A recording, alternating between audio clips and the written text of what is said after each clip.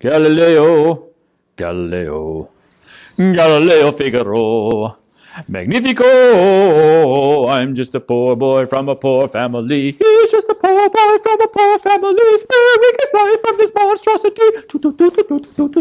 Easy come, easy go. Will you let me go? Bismillah no. We will not let you go. Let me go. Bismillah no. We will not let you go. Let me go. We'll not let you go. Let me go. We'll not let you go. Let me go. No, no, no, no, no, no, no. Oh, mamma mia, mamma mia, mamma mia, let me go.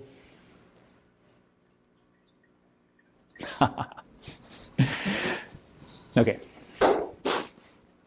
That was a little bit of Queen for you. Freddie? Or me? It's close, I know. In the early 1600s, Galileo had been hearing about some in the marketplace curved glass that seemed to be giving an unusual effect. Uh, there were glassmakers in Holland who were very well renowned for this. And so he ordered some. And he brought in a couple of lenses. Okay. And most people were using them because they'd make your friend's face look funny, or you could magnify the writing on the page. Uh, but what Galileo did that was unique from anybody else is he put two of them together. Because when he put two of them together, he got a great magnification. Now, he wouldn't be the only one to have done this, but historically, he may have been the first person not to just look across the ocean and say, Land ho! But he did this. and he saw things that nobody had ever seen before. And what Galileo did is what probably anybody would do if they got a telescope. The first thing was look at the moon.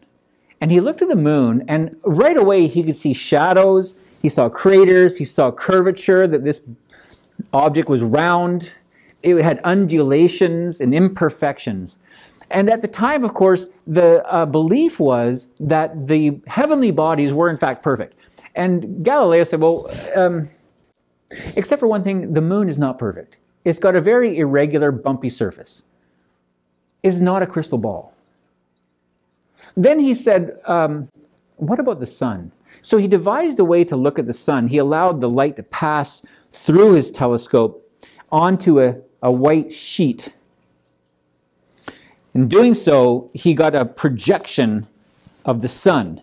And he would look at the sun on a regular basis. And what he would see from time to time were black spots, imperfections again.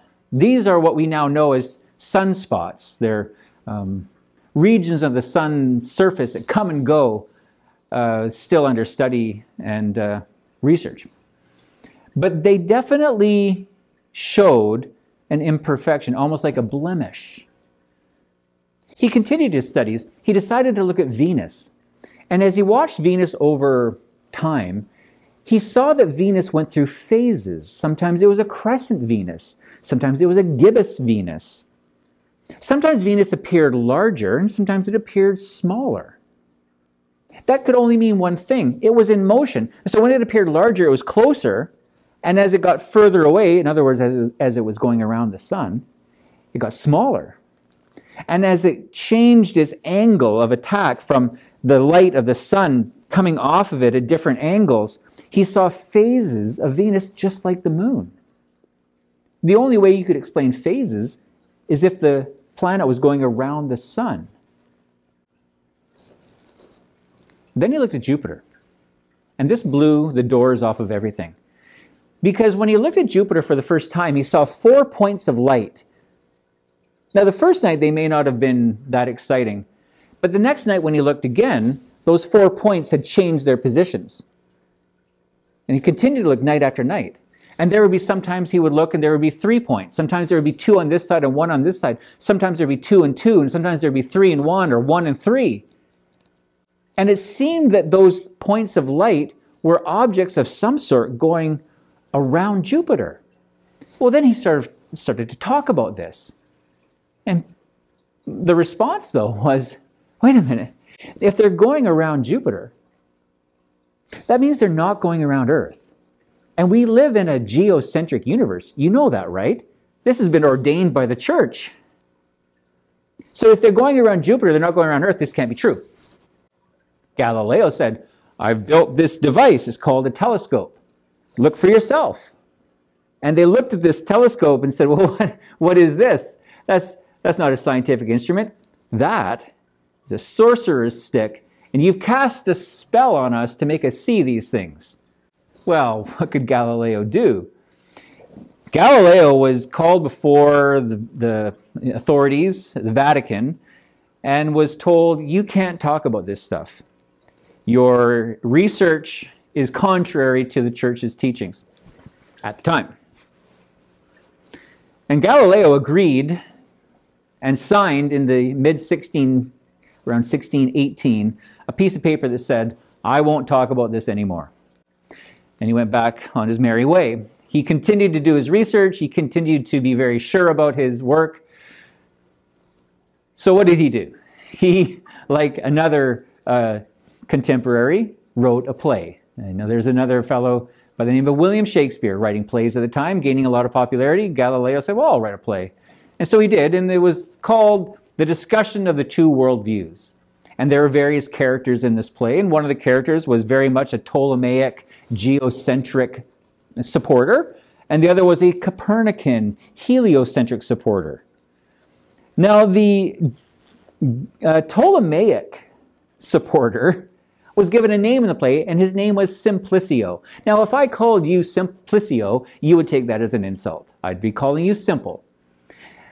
And what Galileo did further was he quoted the Pope. Simplicio in the play quoted the Pope. Now, of course, this becomes public knowledge. The Pope hears about this and says, okay, we've, we've got to talk to you, Galileo. Uh, because I'm not very happy about you comparing me to this simple individual. And so they called him back to the Vatican. And this was the Great Inquisition. And um, they, they said to him, you said you wouldn't talk about your discoveries and your theories about a sun centered universe. And you did. Remember, you signed this paper that said you wouldn't do that? Galileo said, I, I didn't really, I just wrote a play. And they said, No, no, no, we've read between the lines and we know what you're actually saying here. So you broke your promise. And therefore, you have two choices death by burning at the stake didn't seem like a good choice. Second choice was house arrest. And you'll go back to your home in Rome and you will never leave it again and under house arrest for the rest of your life. Well, Galileo decided to pick the latter. And off he went to his home where he spent the last 12 years of his life. The legend is that as the Inquisition ended and he got up from his chair, he whispered under his breath, and a few people nearby heard Galileo say, E per si muove, which means, and yet it moves. and yet the earth moves. He knew it, and he was right. But he did spend the rest of his life under house arrest.